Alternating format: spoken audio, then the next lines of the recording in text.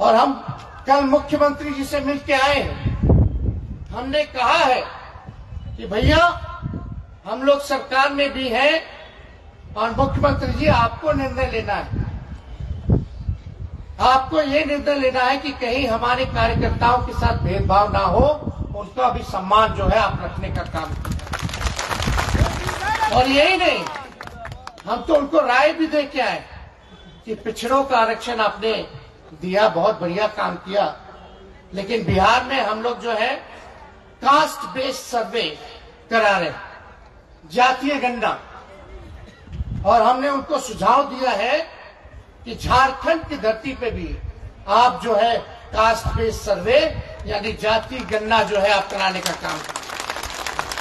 जातियों की गणना मतलब सब लोगों का गिनती होता है। जानवरों का होता है पेड़ पौधों का होता है। लेकिन आपके राज्य में कौन लोग किस स्थिति में रह रहे हैं? कौन लोग बिहारी मजदूर हैं?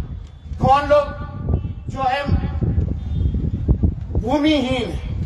कौन लोग जो है एक कमरे में बसर करता है? कौन लोग जो है कचरा साफ़ करते हैं? नाला साफ़ करते हैं?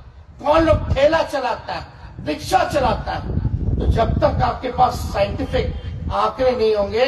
तब तक आप बजट में जो है,